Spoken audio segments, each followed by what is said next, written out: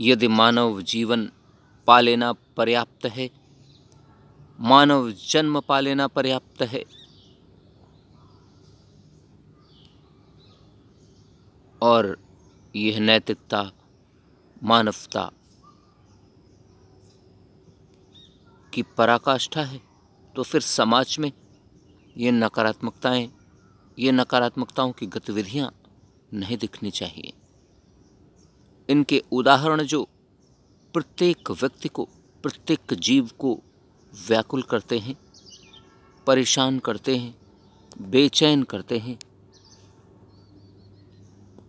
असत्य, अधर्म, अन्याय, अराजकता, बेईमानी, भ्रष्टाचार, घूसखोरी, कमीशनखोरी,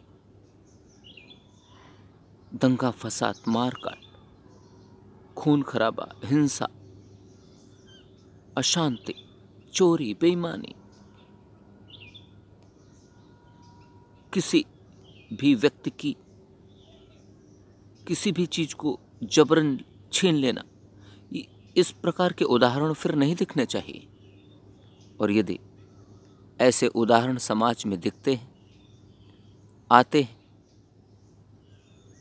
आते ही हैं, दिखते ही हैं तो हमें यही समझना होगा कि अभी मानवता की, नैतिकता की, धार्मिकता की सार्थकता सिद्ध नहीं हो सकी है। इस धार्मिकता, मानवता और नैतिकता की सार्थकता को सिद्ध करने के लिए खुद को समझना ज़रूरी, खुद को आंकना ज़रूरी है। खुद के क्रियाकलापों को जानना ज़रूरी है। उन्हें समझना ज़रूरी है। उन्हें संतुलित और समन्वित करना ज़रूरी है। उन्हें सुधारना ज़रूरी है। जब तक ये सब कार्य नहीं होते, तब तक मनुष्य जीवन पा लेने का उद्देश्य, मनुष्य जीवन में जन्म ले लेने का उद्देश्य अधूरा है। तो अब सवाल यही, क्या इस सार्थकता के अधूरेपन के साथ ही हम दुनिया से चले जाएँगे। और यदि ऐसा ही हुआ, तब इस जन्म का क्या लाभ होगा? क्या महत्व होगा? क्या अस्तित्व होगा? वही जैसा अनेकों लोग करते जैसा अनेकों लोग जीवन जीकर चले जाते हैं। वास्तविक रूप में यदि मानव जीवन की नैतिकता की, धार्मिकता की सार्थकता को सिद्ध करना है तो हमें इन नकारात्मकताओं से अपने अंतर्मन में विरक्ति को पैदा करना होगा। जब इन सभी चीज़ों से हमारे अंतरात्मा में, हमारे मन में विरक्ति उत्पन्न होगी, विरोध उत्पन्न होगा, इनके विरुद्ध क्रांति उत्पन्न होगी, तभी हम इनसे दूर होकर, इनसे विमुख होकर, इनके विपरीत चलकर सकारात्मकताओं से अपना नाता जोड़ पाएँगे। तभी हम सत्य से अपना संपर्क कर पाएँगे।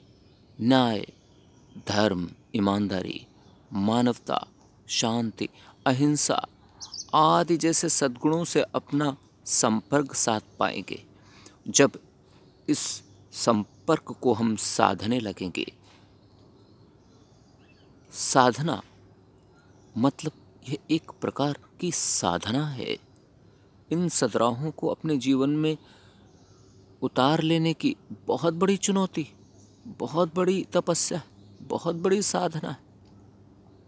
यदि कोई भी व्यक्ति इन सभी सकारात्मक सिद्धांतों के अनुरूप अपने जीवन को ढालता है, अपने जीवन में अंगीकृत करता है, इन्हीं के अनुरूप अपने जीवन को चला रहा है तो वह बहुत बड़ी तपस्या कर रहा है। और ये भी सच, ऐसी तपस्या में अनेकों बाधाएँ भी आती परंतु उन सभी बाधाओं को सहर्ष स्वीकार करने का सामर्थ्य हमें स्वयं प्राप्त होने लगेगा।